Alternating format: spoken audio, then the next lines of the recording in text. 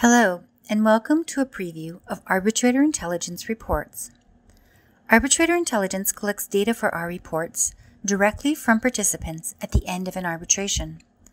Parties and counsel, but not arbitrators, tribunal secretaries, or institutions, may submit information about that arbitration through our confidential online Arbitrator Intelligence Questionnaire, or AIQ. We then analyze that data and produce reports on arbitrators, which parties and counsel can purchase when they are selecting a new tribunal. Each report is on an individual arbitrator, and this report is on Mirjana Radovic. It is an example of one of our smaller reports based on feedback from one arbitration.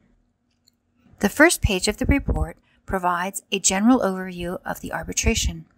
Here, the claimant asked for $32 million in a construction case administered by the Stockholm Chamber of Commerce that was seated in Stockholm, subject to the law of Belarus, and conducted in the Russian language.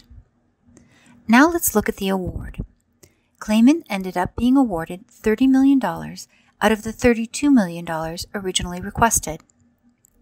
The person who completed this AIQ characterized the award as using plain meaning analysis to interpret the contract and assess the award as presenting a balanced evaluation of the parties' positions. Now let's look at the time it took to render the award. The entire arbitration from start to finish took only 480 days, which is less and sometimes significantly less than other similar arbitrations in our database.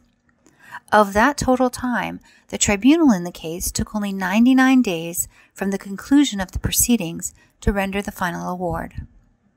Finally, in response to a request for a final evaluation, the responder to this AIQ strongly agreed with the idea that they would be comfortable having Radovic sit as a sole arbitrator in a future unrelated case.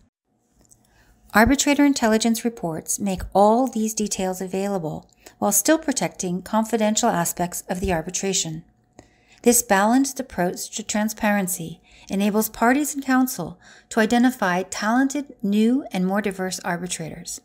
For more information about how to purchase this and other reports, please visit the website below. Thank you.